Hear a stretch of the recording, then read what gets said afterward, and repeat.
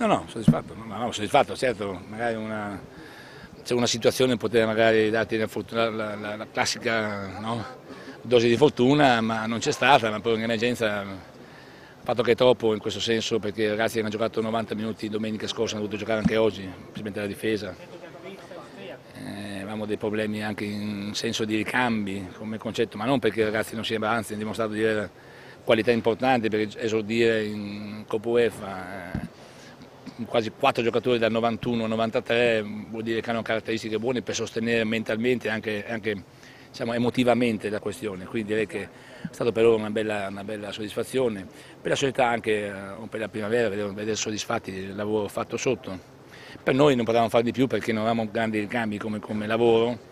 E mi spiace per Nicola che ha avuto questo infortunio, vediamo adesso di che entità è, perché stava giocando veramente bene, difatti la difesa pur rimaneggiata come concetto sembra che mi ha concesso praticamente zero tiri in porta a Salisburgo. Per Krasic invece la situazione qual è? È stata una precauzione Abbiamo, oppure? No, avevamo questo problemino, secondo me Krasic è l'ultimo dei problemi, per domenica non gioca quindi il problema non c'è.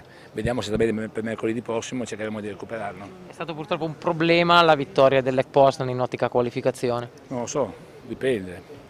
Perché io penso che questa è una competizione che nessuno ci tiene a perdere. Quindi penso che anche Salisburgo e le Postan per esempio possa essere una partita difficile per il LEC e sicuramente non tanto semplice come pensano loro. Anche per noi, ecco, il Manchester City, per noi abbiamo il compito di vincere tutte e due, quindi vediamo cosa succede. Grazie.